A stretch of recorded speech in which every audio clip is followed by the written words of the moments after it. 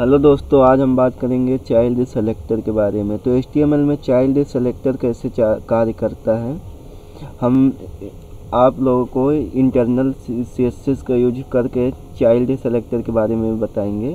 तो चलो शुरू करते हैं। सबसे पहले हमने एच का पेज खोला है।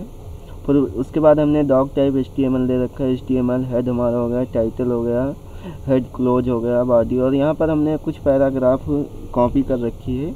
उसी को हम पेस्ट कर दे रहे हैं। तो यहाँ पर हमने पैराग्राफ पहले दे दिया। उसके बाद हमने यहाँ पर सेलेक्टर बना दिया है ड्यू के नाम से, जो कि एक सेलेक्टर है। उसके अंदर हमने पैराग्राफ दे रखा है। फिर हमने एक दूसरा, इसके बाद हमने सेलेक्टर क्लोज ये कर दिया ड्यू फिर उसके बाद हमने कुछ पैराग्राफ दे दिया। फिर हमने एक सेलेक्टर बना दिया है ड्यू के नाम से। जिसके अंदर हमने कुछ पैराग्राफ दिया है, फिर उसके अंदर हमने एक सेलेक्टर बना दिया है। फिर उसके बाद एक पैराग्राफ हमने दे दिया है सेलेक्टर क्लोज हो गया। फिर उसके नीचे हमने ये वाला क्लोज कर दिया है, सबसे ऊपर वाला, ये दूसरे नंबर वाला। फिर हमने उसके नीचे कुछ पैराग्राफ दे दिया है। और चलिए अब हम सी एस एस इंटरनल के ज़रिए चाइल्ड सेलेक्टर का यूज़ करके दिखाएँगे। तो सबसे पहले हमें यहाँ पर सी एस एस इंटरनल के लिए स्टाइल यूज़ करना पड़ता है। स्टाइल उसके बाद इंटर करेंगे और स्टाइल को हम यहाँ पर क्लोज कर देंगे। यहाँ हमारी स्टाइल क्लोज हो जाएगी। उसके बाद हम स्टाइल को क्लोज करने के बाद हेड के नीचे हेड के पहले यानी टाइटल के नीचे हमारी स्टाइल लगती है।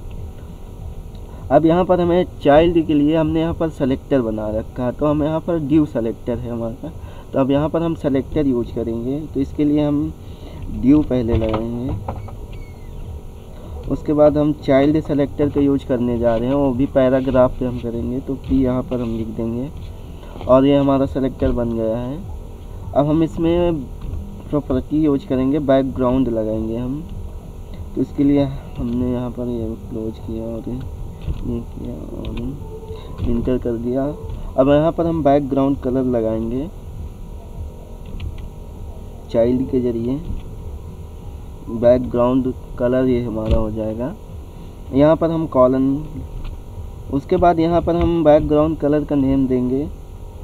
ब्लू दिए दे रहे हैं उसके बाद यहाँ पर हमें बैकग्राउंड और ये हमारा चाइल्ड सेलेक्टर है। इसको हमने ड्यू पे लगाया है।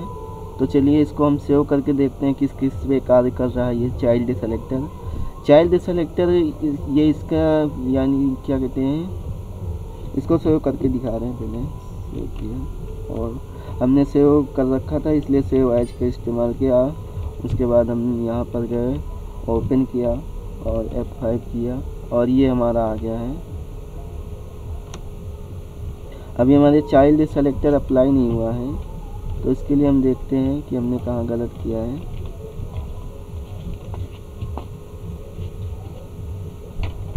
स्टाइल स्टाइल हमारी क्लोज हो गई है। स्टाइल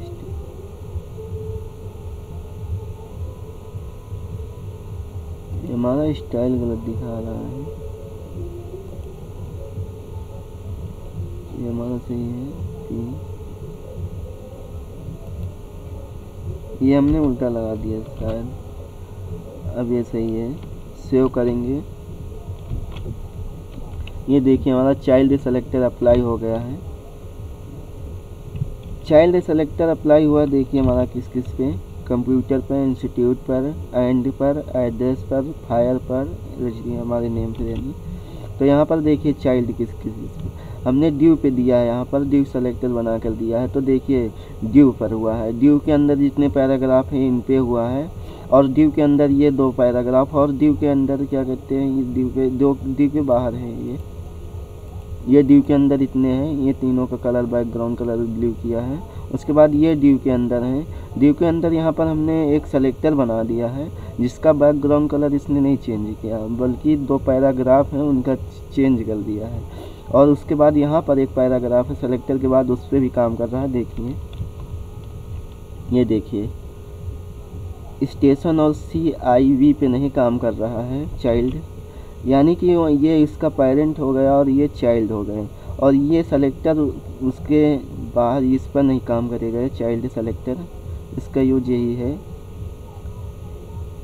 और उसके बाद ये पैराग्राफ पे कर दे रहा ये चाइल्ड सेलेक्टर के द्वारा की गई है तो इसको हम थोड़ा जूम करके दिखा रहे हैं। चाइल्ड सेलेक्टर के लिए हमने यहाँ पर सी एस एस इंटरनल का यूज़ किया है। आप लोग एक्सटर्नल करके यहाँ पर फिर ये स्टाइल नहीं यूज़ होगी। एक्सटर्नल के लिए फिर दूसरा लिंक वाला यूज़ करेंगे। और ये हमारा यूज़ हो गया है।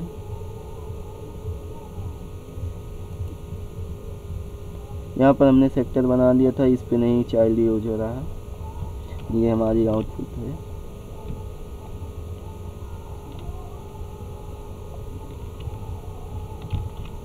Thank you for watching my video. Like and subscribe now.